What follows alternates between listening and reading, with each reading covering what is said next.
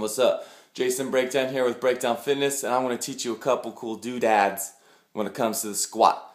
I have seen every single ugly squat there is known to man, I'm here to correct all that so we can get the strength that we desire and the physique changes and muscle activation that we truly need in this superior, superior movement. So, I'm going to show you the stretches that we need to get there and what the position even looks like so we can start squatting like some pimps. So, here we go. First off, we got to learn to open up these hips. Everyone's got way too tight hips from sitting down way too long in the classroom, in their office jobs, etc. So, start from the hips. I got one foot forward. I'm going to take this hand and put it right on top of my foot. Now, from this position, I got to pry this hip open. I got my foot flat and I'm prying open, trying to feel all this tension up in that glute start to become eliminated. We're to give each other about 15 to 20 seconds, more if need be. We are just sitting here until we start to feel change in the tension on our hips. Once we start to feel some subtle changes going on, let's increase that. We're to pull away from the body, keeping this tension, but creating more and more torque for me just falling away from the hip, falling away from the hip. Take time until we start to feel change. Now let's switch it up. Same thing. Got my hand on top of my foot. I'm creating my pry, pry, pry, 15, 20 seconds. Open up those hips. Now I'm starting to turn away, create more torque. I want this torque, I want this hip to get nice and loose and open. Now next in line, we got our hip flexors.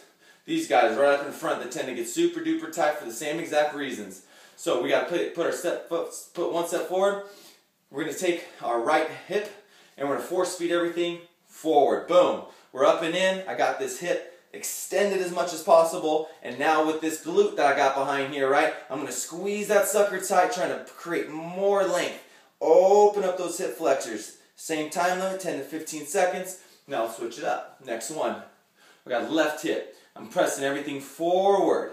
And I'm taking my glute, squeezing that sucker, engaging that glute, trying to get a nice tight butt through that stretch to open up those hips. Hip extension is what we want. Now, one thing that a lot of people don't know is stiff ankles will actually lead to piss poor squats. So we gotta loosen up these ankle capsules, and I like to do so through the classic downward dog stretch. What I gotta do first, I gotta make sure that my arches are strong. I got strong feet, so I get strong ankles. So I'm gonna grip the ground, try and make strong tension underneath the foot, and from there I start to force and drive my heels down to the ground, creating tension right below that calf and the ankle, and now what you can start to do is start to press these heels together and try and drive the outsides of our ankles to the floor. Heels clicked in, Wizard of Oz status. Drive the outsides of those ankles to the ground. We should feel a little stretch right where that little bony structure is around the side of that ankle. And that's that capsule that we got to loosen up. So let's try and kind of maneuver around with that stretch so we start to feel some change there. And now we're ready to do some squats. So, what we want to think about third world country chair. We got to be able to sit comfortably all the way down that hip capsule. I'm going to show you an example of a squat we don't want so we can see exactly what a good squat will look like.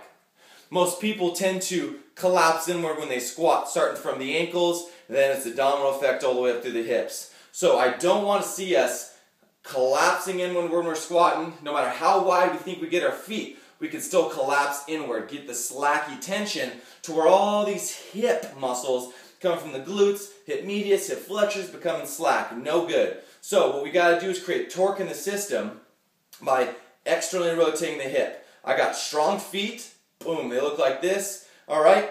And now I got systematically tension externally going all through up to the hip. So now through our squat, what we got to do is keep this engaged. Where we start, where we finish, and where we end. We got to keep this external torque going down all the way into the squat. I got tension forcing myself out. Now I'm sitting down in my third world country chair, nice and comfortably, and I'm not in slack. Notice, I got tension, pulling everything outside, even from the ankles. The ankles are nice and upright. I got my strong arches underneath my feet. And now what we want to be able to do is be able to sit here comfortably for about 30 seconds. This is how we know if we're truly open or not. Are we sitting here comfortably? Are we sitting here tight? Do I got to go back through my stretches to get myself opened up a little bit more, etc. So now just remember, we're starting with the torque, boom. And we're coming down, ending with the good torque, and following through with that good torque. Now we can eliminate a lot of knee pain, back pain, hip pain, any type of pain associated with the squat. And the squat can actually be a very, very therapeutic exercise if we do it correctly. So Don't let me see you squat like a jackass now, please.